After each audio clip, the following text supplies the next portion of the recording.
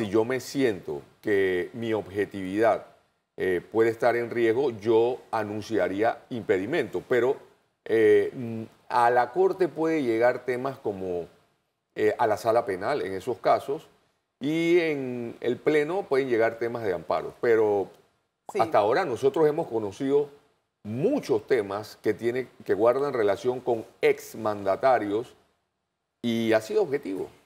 Y yo no he recibido ninguna presión, por cierto. Ah, bueno, esa era, esa era, ¿no? ¿Estás seguro? Estoy seguro. Ay, ¿a poco?